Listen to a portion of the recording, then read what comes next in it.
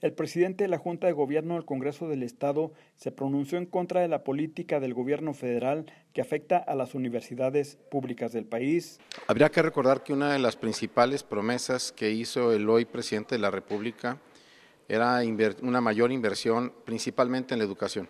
Lamentablemente, una decisión pues totalmente eh, pues, irresponsable decretó cortar una cantidad muy importante del presupuesto de lo que es eh, la ciencia, la investigación eh, derivada de las propias universidades. Es lamentable porque cualquier pueblo que desee prosperar tiene que invertir en dos rubros fundamentales, educación y salud. Y hoy ha decidido apoyar a los programas sociales, una cantidad superior a los programas sociales, apoyando a quienes no producen, en lugar de apoyar al sector productivo, que es la única manera en la que podríamos desarrollar ampliamente y generar bienestar para todas las familias. Y pidió al presidente que corrija el rumbo. Yo hago un exhorto respetuoso al Ejecutivo Federal para que enderece el rumbo. México necesita de un estadista y no de un ocurrente. Nuestro país debería ser una potencia económica.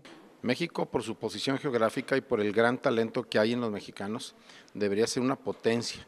Realmente deberíamos de con los grandes. Lamentablemente las decisiones presentes, pero también del pasado, hay que reconocerlo, han sido equivocadas. Un mal que ha quejado este país es la corrupción y la impunidad. Con la cámara de Gerardo López para RCG informó Eduardo Sarabia.